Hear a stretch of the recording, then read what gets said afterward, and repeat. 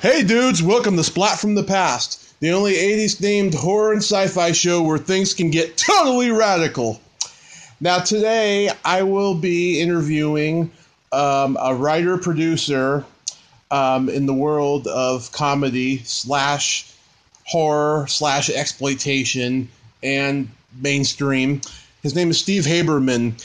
He's best known for co writing Life Stinks and Dracula Dead and Loving It for Mel Brooks, but he also uh, worked at New World Pictures as a pictorial and visual consultant on such pictures as Transylvania 65000, Body Rock, Girls Just Want to Have Fun, Return to Horror High, and all those. And I'm having him on the show today, and I'm just ecstatic and stuff because I've always been I've always been he's he's had a very interesting path into the world of film, and I want to find out a little bit more about how he got there and stuff because I just love the movies that uh, he's been a part of. So yeah, here is my interview with Steve Haberman. Hey, Steve. Hey, Tommy. Sorry I'm a little late. Uh, it's okay. It happens every now and then. uh, it's such an honor. I appreciate you taking the time today. No problem. Now, how do you do this? You record this, and then where do you put it? I put it on YouTube. You just stick it on YouTube, huh? Yeah. Who listens to it? Um, people who subscribe to my channel, random people out there, mostly people who are into like horror and the 80s and stuff like that. And there's a lot of these people. Not not as many as I like, but there's a lot. Yeah. And you do stand up, right? Yes, I do. Are you funny? That's all subjective. Well, there's too long of a gap before you answered that. You should say, yes, I'm very funny. I'm very funny, but I you know, but comedy is subjective. You know, what my cup of tea might be may not be yours or this person or that person. You know, but Who are your influences as a comedian? uh, you know, that's funny.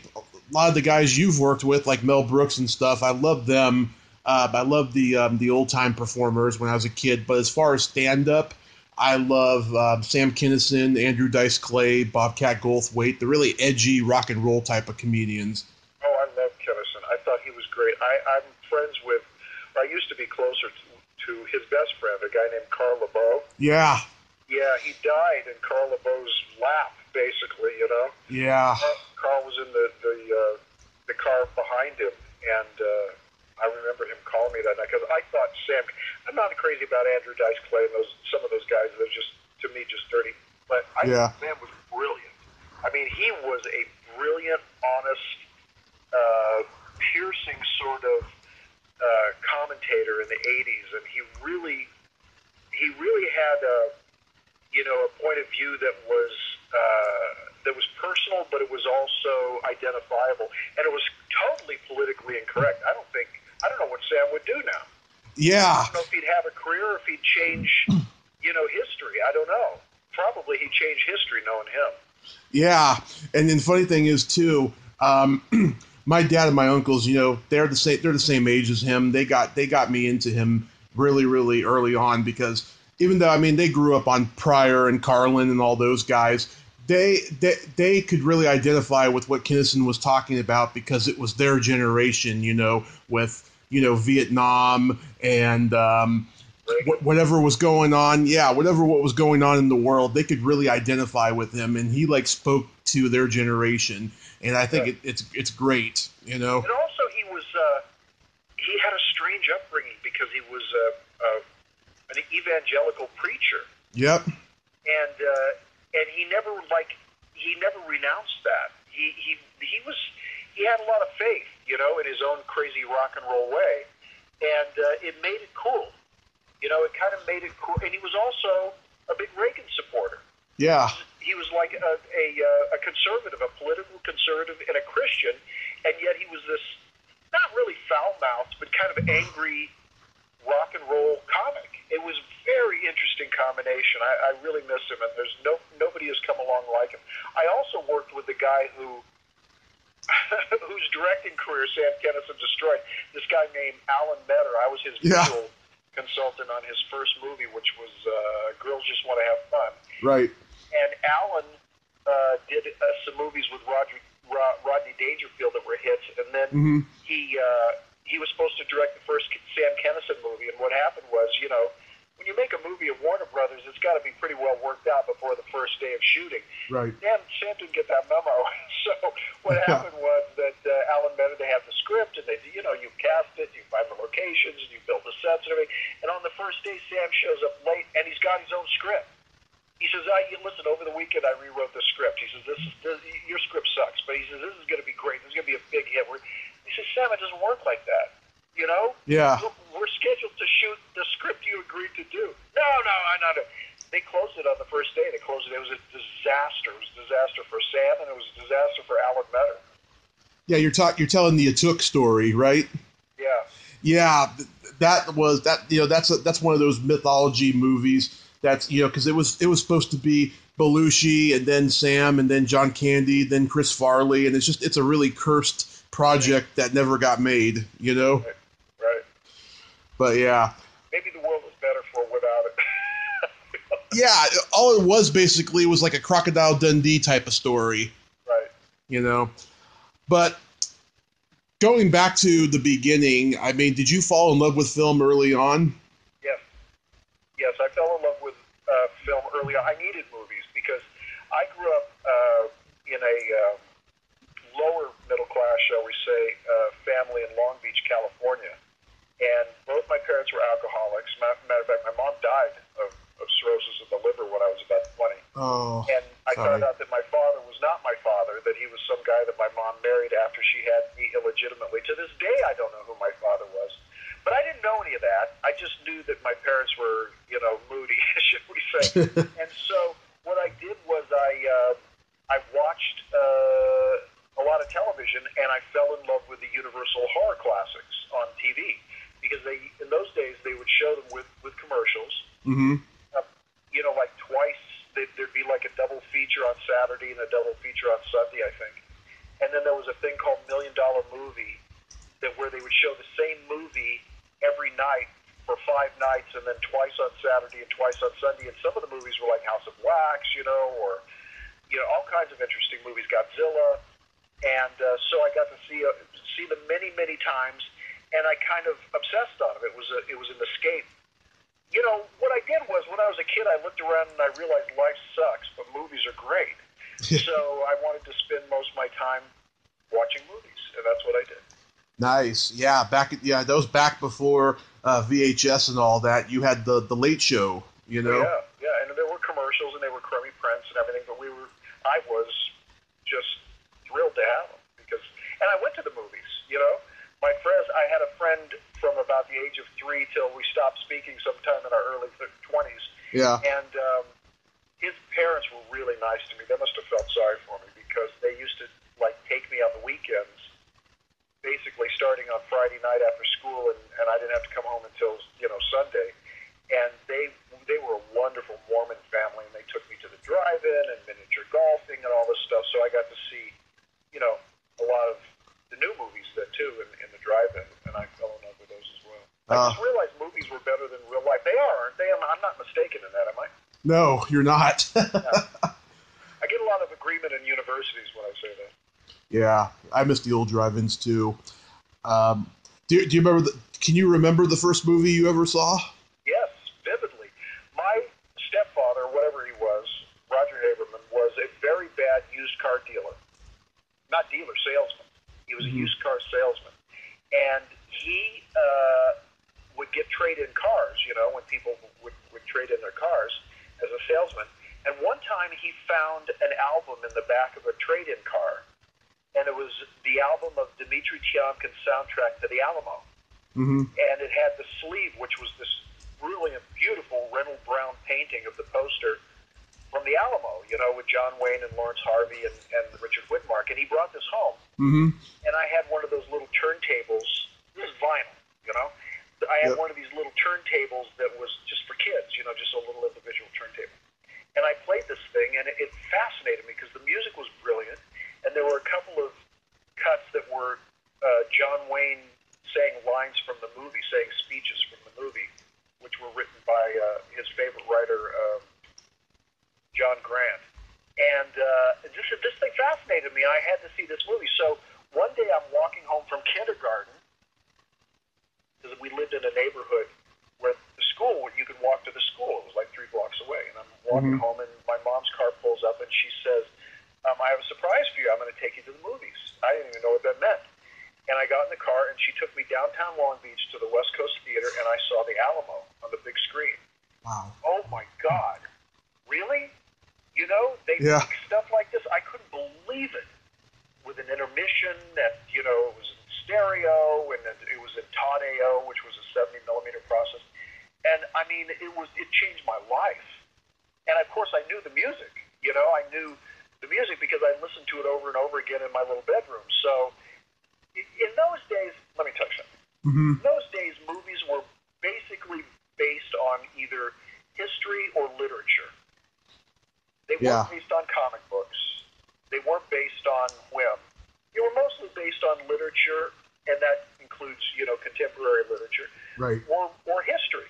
And so, going to school and going to the movies and watching TV, it all kind of came together. Right. And instead of, it, really, instead of divorcing me from real life, I learned a, a lot about the best parts of life, which are, you know, what artists have said in literature and paintings and so on, and uh, what, what happened, what happened in mankind, what happened in the Middle Ages, what happened in the history of this country, what happened, you know, during the wars, because that's what they made movies about. And Yeah. so it all came together for me at school, and I did very well at school. I was very, very smart because this is where I wanted to put my my my attention and my imagination. And so I, I was plotting my escape, you know, from from this life, from this little house with these alcoholic parents, and my half brother was, a, uh, shall we say, we had nothing in common. and um, so what I decided is I realized that they were keeping, they were taking my grades down. You know, you'd get a report card, and they took it very seriously, the grown-ups. hmm You know, they put them in files and stuff like that. So I figured this must mean something. Nothing was ever explained to me. Parents in those days weren't your friends, and they didn't explain to you anything. Yeah. They basically you were seen and not heard. So I decided if I get good grades in middle school and high school, something good must happen at the end of that because they're keeping them. They're keeping records of these. Mm-hmm. Now, when I, I when I got to the sixth grade, which was elementary school, they they brought me in and they said we're we're changing your school. You're going to go to a brand new experimental program which is called uh, Accelerated Sixth Grade. And what it is is it's for the smart kids basically, and it's preparing you for in those days what was called junior high, which we now call middle school, I guess. And uh, they said, so um, you know, you've done very well, you've tested very well, and you're really smart. So we're going to say you have to walk a little bit further across Stearns and into the other neighborhood to go to uh, sixth grade, but that's what we're going to do. So, so I said, okay. So, um, and my parents, of course, were excited about that, and proud of me. The colonel, who was not even really my father, he was a colonel in uh, World War II in the Marines, and he distinguished himself quite a lot at Guadalcanal. He was a fighter ace hmm and he shot down a lot of Japanese aircraft. And so and now he's an alcoholic uh, used car salesman. But you know, those were, and he and he had gone to college, and he was he was kind of proud of me. And so I went to uh, this other school, Prisk, and I did sixth grade there, accelerated, and they broke it up like like junior high in classes. And so by the time I got to middle school, I was kind of prepared. Anyway, make a long story short, I got straight A's all the way through junior high and high school. hmm And on my last year, my senior year in high school, my counselor brought me in and said, Steve, uh, you got 4.0, and so you have won the Bank of America Achievement Award in English and math and science and the arts. It's never been done before. You won all three of those. So you can literally go anywhere to college, and it will be paid for. You can study anything you like, and we'll even do the paperwork for you. So I already knew what I wanted to do. I said, okay, I want to go to USC Cinema. They said, done. And I did. They sent me to USC Cinema free for four years, hmm and I did very well there, and I sort of distinguished myself at USC, and I had this legendary uh, screenwriting teacher, a guy named Irwin Blacker, who had been the screenwriting teacher previously for George Lucas and John Milius Mm-hmm. and uh, Barwood and Robbins and you know all those guys who went to USC in the golden era. And he was on his last leg when I had it, but he really liked me and he liked my work. So he got me an agent. I actually had an agent of William Morris while I was at USC, and I was getting scripts optioned. And so I, I took this money, and I realized that if you made a movie at USC, they paid for the equipment and they paid for the film stock and all and the processing because there was no digital in those days. We shot on 16 millimeter. Right. They owned it. So when you made your student film, if you made THX 1138 like Lucas did, they owned it and they got to keep the awards. So I thought, no. Oh my God. So I took the money that I was making on by optioning scripts, and I made my own short film, which was called Blind Curves. It was a half-hour film, and uh, I wrote it, produced it, directed it. It was it was quite suspenseful and good. It was like a little sort of color spectacular episode of Alfred Hitchcock Presents, you know. yeah. and and, uh, and it won all of these film festivals. As a matter of fact, CINE, which was the Council Council on International Non-Theatrical Events in Washington D.C., is called CINE, C-I-N-E. They chose it as the film of the year to represent the United States in foreign film festivals for student films or amateur films, whatever they call it. And I won 17 of those. So uh, by the time I was finished at USC, I was doing pretty good. Mm-hmm. And so um, somebody, a, a, a producer by the name of Don Barron, saw my saw my short film Blind Curves, and he thought it was very slick, which it was. And he was producing a breakdancing movie called Body Rock, and he Right. was working with a first-time uh, director by the name of Marcelo Epstein. Yep. And nobody had any faith in this guy. He was a very good music video director. Music video was like a new art form at this time, right? Right. and he distinguished himself at, at that. But they didn't know if he could like shoot a scene with people talking, you know, or you know, walking down the street or something. So they saw my film and they thought it was really slick, and they hired me as a visual consultant. Right. This guy, who was a very nice guy, by the way, Marcelo Epstein. I don't know whatever happened to him, but he was a very nice guy. And what I did was I broke this, the movie into shots in prose with him Mm-hmm. and I went on all the location scouts, and I, I talked to the, the set designers, and I and I storyboarded the really visual scenes, which were basically the dances. I went to the choreographed sessions with the dancers and so on, and I was on the set, and I would like whisper into his ear, "Don't put the camera there, put it over there," and you know stuff like that. So just by luck, on the last day of filming uh, in the studio, that afternoon at four o'clock, everybody had to get in vans and go to LAX, and then we were going to fly to New York and and do the exteriors because it was supposed to take place in New York, right? Right.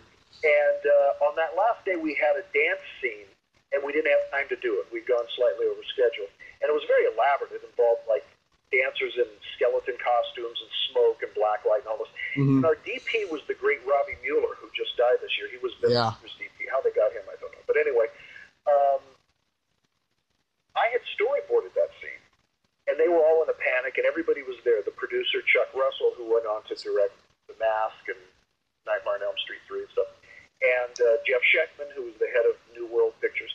Anyway, they were all there, and I said, "Look, if we put the camera on a crane, I will go out and we'll walk through the dance scene, and I'll put marks on the floor because there's going to be smoke on the floor." Mm-hmm. where the crane should stop for the dancers, and we'll get like three or four crane shots like that, and then we'll go in for cross coverage on those spots where I marked where the crane stopped. And let's see how far we get. At least we'll get three or four crane shots of the whole dance scene. And so Robby Müller says, ah, this is a good idea. This is the best idea we have had. We will do this.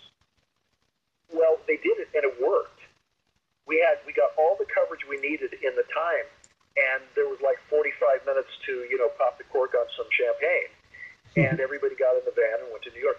And I did that in front of Jeff Schechtman and Chuck Russell. So ever after, I was hired as visual consultant on any movie where somebody came from commercials or from sitcoms or something that had, they'd never done a feature before. Mm-hmm. Somehow they were attached to the script. And so at New World and other companies like that, these B movie companies, I would go in and I would be the visual consultant. Well, one of the guys that I did that for was a writer by the name of Rudy DeLuca. Yep. Rudy DeLuca was the writing partner of Barry Levinson. They'd been writing partners for 14 years, and they'd written the Carol Burnett Show and won a couple of Emmys. And then Mel Brooks called them in, and they wrote High Anxiety and Silent Movie with Mel. And so um, what happened was uh, they hired me to be Rudy's visual consultant because he was going to direct his first movie because Barry had gone off to direct Diner and The Natural, I think, by this point Yeah. and and um, so Rudy was going to direct his his first feature, Transylvania Six Five Thousand, which he wrote in Yugoslavia with this wonderful cast: Jeff Goldblum and Ed Begley Jr. and Geena Davis and Joe Bologna and Carol Kane. They had a terrific cast. Yep. So so I go to uh, to Yugoslavia with Rudy DeLuca, and Rudy. I mean, if he were here, he would back me up. He can't direct you to the bathroom in your own home. He just doesn't. That's not his skill. you know, he's a he's a writer. He's a joke writer. He's a comedy writer, Right. and he didn't enjoy directing at all. It freaked him out. So I helped him out a lot, right? Right. And um, so we come home, and the movie comes out, and it's a hit. It's like a three million dollar movie, and it makes like nine million dollars, which was a nice substantial hit in those days. Mm-hmm. And so Rudy says to me, and he, Rudy's like twice my age at least, and he says, uh, "Do you want to be my writing partner?" Because we had been pretty close, you know, for Mhm. ten weeks in Yugoslavia. So I said, "Yeah." So I become Rudy DeLuca's writing par- partner. His previous writing partner was Barry Levinson. So, um, so we're working up in Rudy's house, and uh, Mel Brooks calls Rudy Mm-hmm. and asks him if he has anything. And Rudy says no. And Mel says, well, I don't have anything. Rudy, I mean, Mel had just made Spaceballs. And I said, I have something. And so um, I go in and I pitch him Life Stinks, and the rest is history. Oh wow, that is amazing. Um, yeah, Transylvania Six Five Thousand was a huge staple in my house when I was growing up. I still watch it today and quote it. I love it. You know, you, you, you know, what I found out uh, recently is um, the guy who uh, the guy who plays um, the inspector in the movie just died not too long ago. He did? Yeah, Oh, you mean the, the oh, not the mayor, the inspector. Oh, yeah, yeah, yeah, the Yugoslavian guy. Yeah, I, I, I had heard that. Yeah, and um, yeah, I remember uh, listening to the commentary track you and Rudy did for the DVD, and uh, Rudy had said that uh, that he heard from him like years later, and and, and told him that uh, he got a little bit of fame off of that movie in, in Yugoslavia. Well, you know, everybody wanted out of Yugoslavia. When we were there, that was behind the Iron Curtain. There was no such thing as Yugoslavia anymore. But Yeah, we were there, um, they all wanted us to, you know, put us in their, put them in our suitcases and take them home because, you know, they were suffering under communism. They hated it. They wanted to come to, to America like everybody does. And, you know, you wanted to, they were all sweet people too, but they all hated each other. That's what was weird. they, they were very tribal. You know, that's like the Serbs hated the Croatians and the Croatians hated the Serbs and yeah, then there's the Serbo-Croatians. They hated them, and everybody hated the Jews. I mean, like it was so much hatred over there. I thought, well, no wonder this place is collapsing. yeah. I, I'm I'm uh, half Croatian on my dad's side, and we we don't know too much about our family history or about Croatians. When I first started doing stand up, I tried to make fun of Croatians, but not everybody got it, so I stopped doing it. Who they. Yeah, now they're all it's Bosnia and and these different countries, you know. And it's just Mhm. it all split up. And but at the time, it was a pretty interesting experience for a kid. yeah, it must have been beautiful over there. Oh, it was gorgeous. We shot in this. Well, you saw it. It's in the movie. We, you know, we Yeah. shot in this castle and a village. That's a village. We didn't shoot that at Universal Backlot. That's a that's an actual village in Yugoslavia with cobblestones and you know c- horse-drawn carts and women, you know, putting sticks on their back and walking through the fields. It, it, it was like medieval. Shooting Yeah. there, but fascinating because I was already interested in gothic horror, so this was I was at home. Yeah, it looked like it was freezing cold too. It got cold at night, and we shot some nights all night long. Wow. yeah, and then you after you did that, uh, you were a storyboard artist on Return to Horror High. Yeah, I don't remember that too much. I, I remember somebody called. I think it was one of the guys, or one maybe one of the women that I worked for when I was a visual consultant, and they called me up for this with the same, oh, we've got this director, he doesn't know what he's doing or whatever. Will you come and do it? And I said, yeah, but I'm a writer now. I'm writing movies. And they said, well, come on, just do it. It'll be easy for you. So I think that's what happened. I went and I, yeah, did that. I did a couple like that. There was another one, Midnight Blue or something, where I did Yeah. same thing. And they, they, they couldn't give me like visual consultant salary or, or, or, or billing for some reason. And I said, oh, don't worry, just say I did the storyboards. Yeah, I interviewed one of the main actresses uh, from the movie, Lori Lethin. She told me it was uh, one of the most pleasant experiences she had making a movie. Which one? Uh, Return to Horror High. Oh, yeah. That was in the high school, right? Yeah, Yeah, I remember that, sort of. yeah. So, how did you come up with uh, Life Stinks? Well, that's a very interesting question. Um, I thought that it was time to remake a Preston Sturges movie called uh, Sullivan's Travels, and because it was it was we were coming off of the Reagan era, and like now there was a real huge disparity between wealth and poverty in the United States. Not since, and what from what I knew, looking around, it, it looked like about the same as the Great Depression. That's what the disparity between wealth and poverty was in the uh, late 80s and early 90s. So uh, I thought it would be a good idea to rethink and remake Sullivan's Travels, which is about a, a wealthy movie director who wants to make a movie about poverty. And in order to find out what it's like, he goes and lives with the poor. But this is in the in the 1930s and early 40s.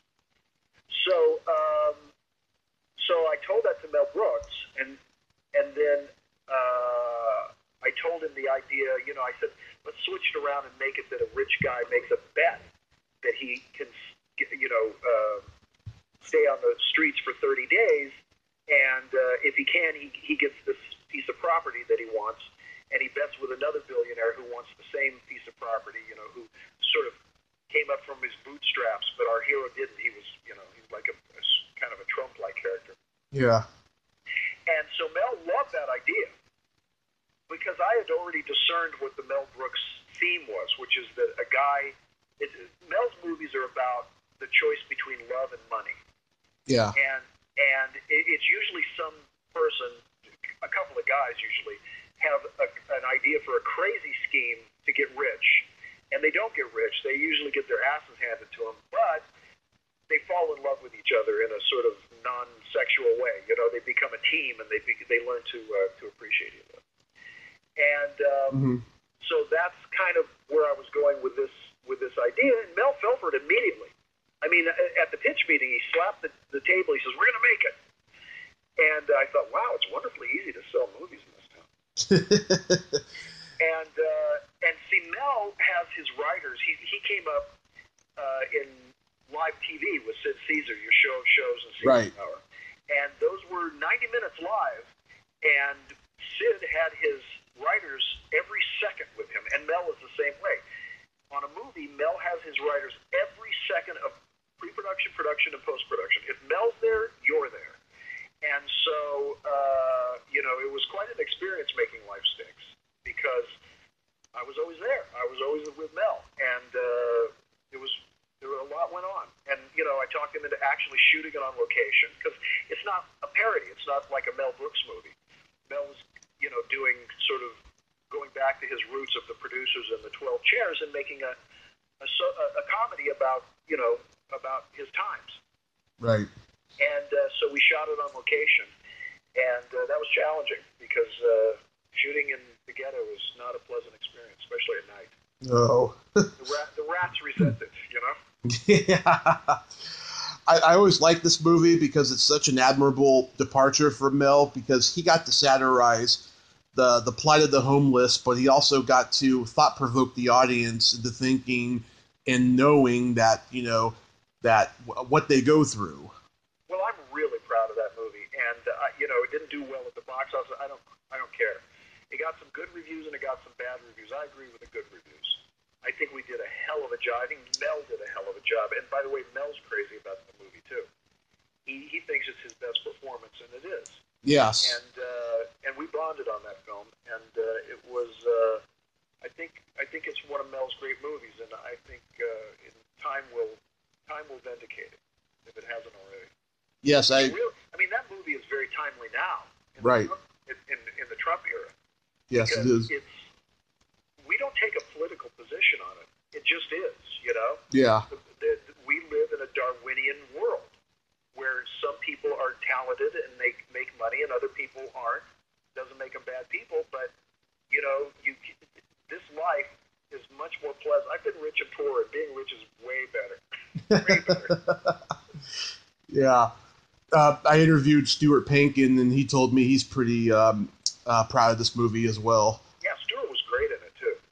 All of the lawyers were good, but Stuart, of course, as the, as the lawyer spokesman, he was just perfect for it. Just oily and unctuous, and you know, he was Uriah Heep for the 20th century.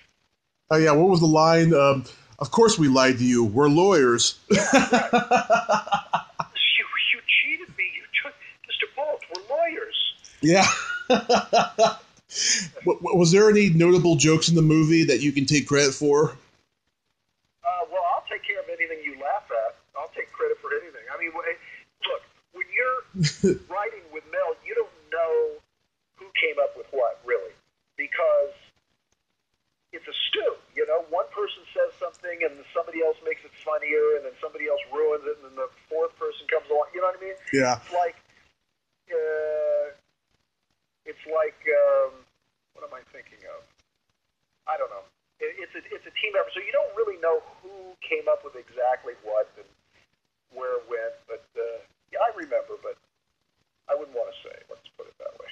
Well, the argument between Mel and Rudy about who's richer just kills me every time. Yeah, I mean that was great. that was great. And the thing is, since they were both in it, Yeah. I was kind of directing that scene, and I said, let's try to do it in one, like like the Three Stooges would do. Let's just do it in one two shot. Mhm. Okay. So they start smacking each other, and Mel starts laughing. Not Rudy. Mel starts laughing. Yeah. Right? So okay, let's try to get. We tried it like we couldn't get through. We couldn't get through Master without Mel laughing, and so we had to do overs and everything. But it, it worked out anyway. It was hilarious. Oh, yeah. It's it's comedy gold. Um, then you guys did Dracula Dead and Loving It. Was that Mel's attempt at trying to do another Young Frankenstein? Well, no. What happened with Dracula Dead and Loving It is that um, Mel said to me after Life Stinks, write something for Brooks Films. He says, I'm not just Mel Brooks. I'm a very classy guy. I'm Brooks Films. I produced The Elephant Man and The Fly and 84 Charing Cross Road. You should write something for Brooks Films and direct it. I said, okay. So I wrote this thing, this big science fiction horror movie called Not Human, right? And Mel, God bless him, bought it Mm-hmm. and he was setting it up. And meanwhile, Rudy and I wrote this thing called Dracula Dead and Loving It. Actually, we originally called it Dracula Dead and Liking It. And, um, you know, I'm coming in once a week or whatever to uh, to talk to Mel about Not Human, and we decided to let Mel read it, right? So we brought it in. We, and Mel goes, "Oh yeah, yeah," and he puts it on the corner of his desk, and I'm coming in week after week, and it's in the same corner of his desk. I said, Mel, are you going to read that? He goes, Yeah, yeah, I'll read it. So one night, about 9:30 at night, when I was about out of money, the phone rings, and Mel goes, Hey, I read Dracula. We're going to do it. I'm playing Van Helsing. Come by for lunch tomorrow. Click. So that's that. That's how that started. And of course, Mel wanted to, you know, rewrite it, and and uh, and rightfully so. And so we sat with Mel, and we did a, a, a Mel Brooks rewrite, and uh, then that movie got made. Yeah. I, I, I, mean, I think it, it's very close to the 1931 Bela Lugosi Dracula, but of course with comedy. Yeah. Well, you know what I tried to do is I'm a bit of a scholar on those. I tried to put um, I, tr- I tried to put the best ideas from each version. Like I like the fact that Renfield goes to Transylvania in the 1931 version, right? And Renfield, I, I figured would be the funniest character in Dracula anyway, because he's pretty funny when he's straight in the in the real version. Mhm. So so we took that from the 1931 version, and then also I wanted to make Dracula a social character, not a not like in the novel in Stoker's novel. After the uh, the, the first part in Transylvania, Dracula has nothing to say. Mm-hmm. He's a monster. He's like a hissing creature of the night, right? And they they talk about him a lot, but he doesn't appear very often. And uh, so I thought, no, let, let's do that from the 31 version too, which was basically based on the play. Let's have him, you know, come into the drawing room and get to know his victims and so on. And then from the Hammer version of Dracula, the horror of Dracula from 1958, I took the Lucy parts. Right. Because I think that's the best version of the Lucy parts. As a matter of fact, I think the scene in Horror of Dracula, from the moment where Michael Gough comes down into the into the graveyard to, to see if his sister's still, you know, walking around, to the point where, uh, you know, Van Helsing stakes her and then has Michael Gough come over and take a look at her. Now she's at peace and the music. So I think that section of the like ten minutes of movie is the best part of any vampire movie ever made. Mm-hmm. It's scary. It's atmospheric. It's touching. It's it's spiritual. It's it's got everything going for it. So that that's the part that we satirized from from Horror of Dracula, and of course the goofy kind of baroque ideas that Coppola had to to, to style up Dracula. We wanted to, to, to use some of that, like you know the flowing robe and the white wig, and and the, you know the uh, the the uh, shadow that operates independently from from its source and stuff like that. We took from that from the Coppola one, and you know, so we took stuff from everywhere. Mm-hmm. And, and how come that's that's been Mel's last movie so far? Well, you know, Mel um, kind of got into Broadway. you know, he'd always everybody always said you should do a musical of, of the producers. So he did, and my God, it's to this day it won it has won more Tonys than any show ever on Broadway. It was a gigantic critical and commercial hit. And so he followed that up with with his Young Frankenstein Broadway show, which I think was tremendous. I saw both versions. I saw the Broadway version, which was a little overproduced. You know, it was pretty spectacular. Yeah. But I, I had to go to England this year, and he just opened like a cut down version, not cut down in terms of budget or anything, but just streamlined it and and made it more efficient, which made it even funnier. And I saw that version. That's even better. I mean, that was really terrific. I saw that, I guess, in April in uh, in London. And uh, so, you know, Mel has been concentrating on on Broadway, and also, you know, he he let me produce three live shows for HBO with him. Mm-hmm. We got an Emmy nomination for each of those three. Uh, we did uh, Mel Brooks and Dick Cavett together again. Mel Brooks Strikes Back at Mel Brooks Live at the Geffen and uh, that was a lot of work. You know, I mean, it had to be written, and we shot it, and uh, with a live audience, and uh, then uh, you know I supervised the editing on those, and then HBO HBO bought all three of them, and they were very successful. They got great reviews, and and I got Emmy nominations for each of them, and so that's uh, great. You know, we've been busy doing other things, but the movie business is kind of weird now because yeah, you know. The, I, I've been very, very fortunate because I never got rewritten. I, I was never in development hell because I was always working for like one of the last auteurs, one of the last guys, where the studio says, "Well, it's a Mel Brooks movie, so Mel Brooks just make the movie, you know, and we'll pay for it." They don't do that anymore. mm-hmm. You know, everything is by committee now. Everything is way, way overpriced, and you know, everybody's afraid now. You know, because movies are so expensive that if an executive says yes to anything, his life is on the line. And I mean his mortgage and his kids going to university and everything, because he could get fired and never work again. So it's a it's a kind of a scary business. Yeah. Not, not as much fun as I got the very tail end of the tail end of of old Hollywood, where they Mhm. trusted you because you'd made some hits and they let you make your movie, and they didn't presume to tell you what your movie should be Right. what ingredients were. I mean, nobody ever told us anything from the studios on the movies that I made with Mel. We just wrote them. When we were happy with them, we shot them, we cut them, they went out and they did what they did. Wow. Yeah. with with all the jobs you've had in film, have you ever had any desire to direct your own feature length film? Yeah, that's that's all I've ever wanted to do, and I never got to do it. I mean, Mel, God bless him, twice bought scripts that I wrote to set up as for me to direct him, and I never asked him to do that. I never, I never had this conversation that I'm having with you with Mel Brooks. I never said, "Gee, Mel, I'd really like to direct someday." He said to me, "You know what? You got to direct." Mm-hmm. And so, you know, he says, "Write something." So I would write something, and he he would like it, he'd make me make changes as he does, and buy it and uh, try to set it up. But in in uh, in this atmosphere of Hollywood, it's very difficult. You can either make your own movie for no money, which Mhm. now you can actually do. Back in the day, you couldn't do that. I mean, you can shoot a movie on your iPhone now. Yeah. But or you can make a movie through a studio where they pay for it, but they no longer let you have any freedom, even if you're Mel Brooks. They still are very uh, frightened, and uh, Mel doesn't want to make a movie with an iPhone, Yeah. and uh, so you know he has to deal with this Hmm. crap, and I don't want to put him through that anymore. Yeah. I respect the man tremendously for that. Um, so do you do you have anything um, in the works you're doing now? Well, right now, here's what I did. I moved out of uh, L.A.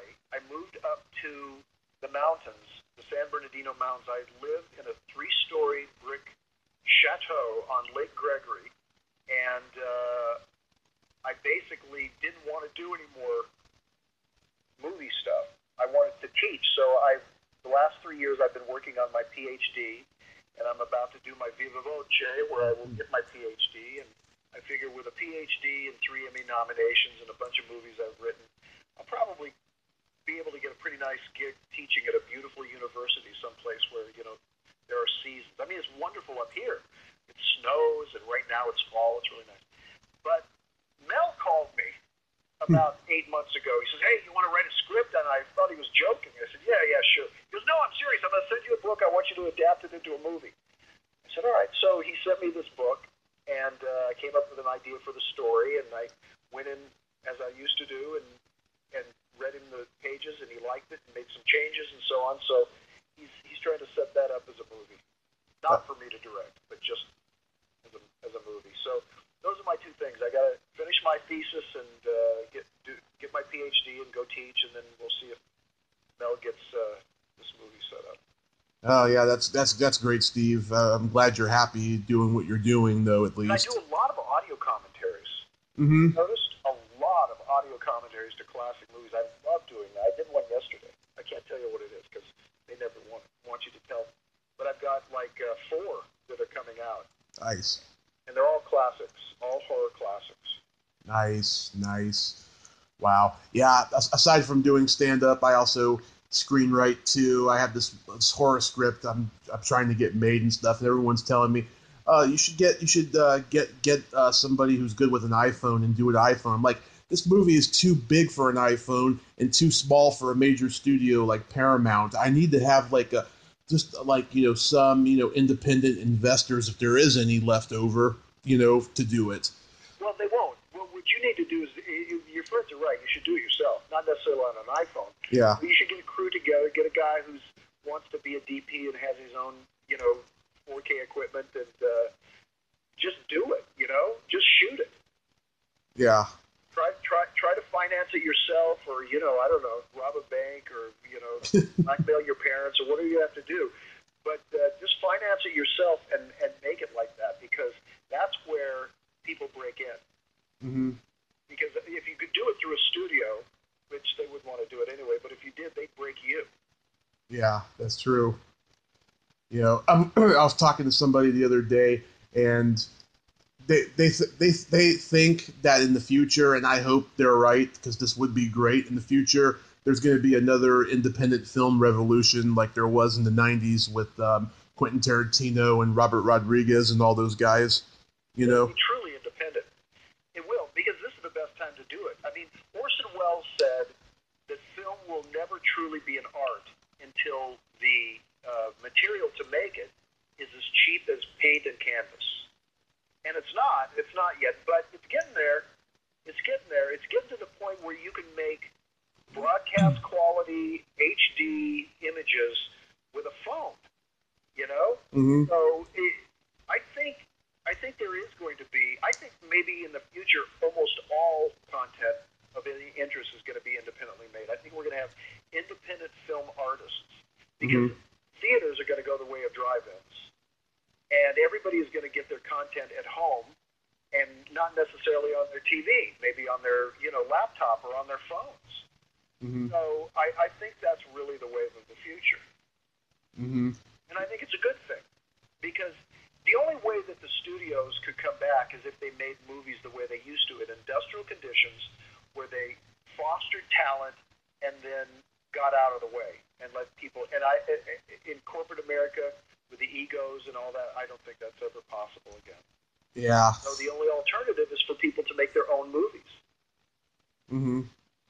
Yeah, and that's just sad and unfortunate, but it's not sad. It's exciting. I think it's it's a great way. I wish that it had been. I wish I didn't have to uh, make movies on film when I was coming up. Because film's a pain in the ass, even 16 millimeter.